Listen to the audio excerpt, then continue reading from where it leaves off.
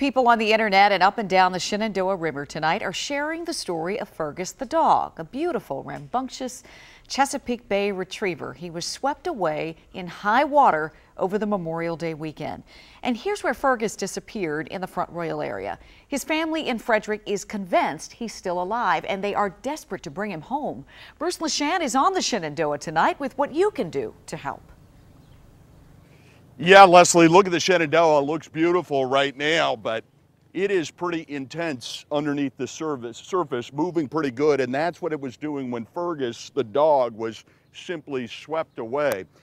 Now, neighbors say that uh, one of the most important things that you can do right now is share his story and they want to get the word out if someone has him. They're convinced that he is okay someplace out here in the woods or that someone has him and doesn't realize how important it is to get him back. Big, friendly Fergus, at a year old, not much more than a puppy, as eager to jump in your lap as jump in the water. Basically, saw something bobbing in the river and just jumped right in after it. It was the Friday before Memorial Day.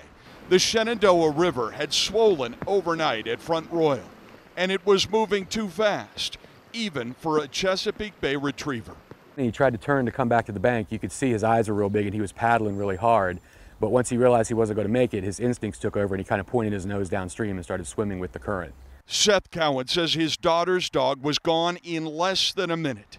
They searched the banks for hours. 11 year old Maggie was inconsolable. Horror, panic, screaming his name, you know, Fergus, Fergus. Across the Shenandoah Valley, volunteers are looking for Fergus. Uh, this is my dog Ruger. If you can see her back there. The searchers include Lisa Jones of Full Tilt Tracking, who says her dog has Fergus's scent. We've been following sightings ever since right now. I think we're up to about the seventh sighting on him.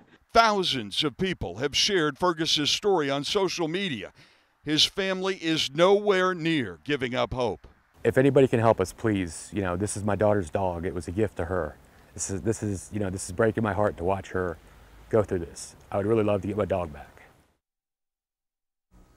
And that was Bruce LeShan reporting. By the way, canine trackers say dogs can survive a long time scavenging in the wild and even longer if someone hasn't picked up Fergus and doesn't realize how desperately his family wants him back. He's got a white blaze on his chest. He's got an ID chip implanted in his body. And if you go to Bruce LeShan's Facebook page, there's even more information for you to know and maybe helpfully reunite that family.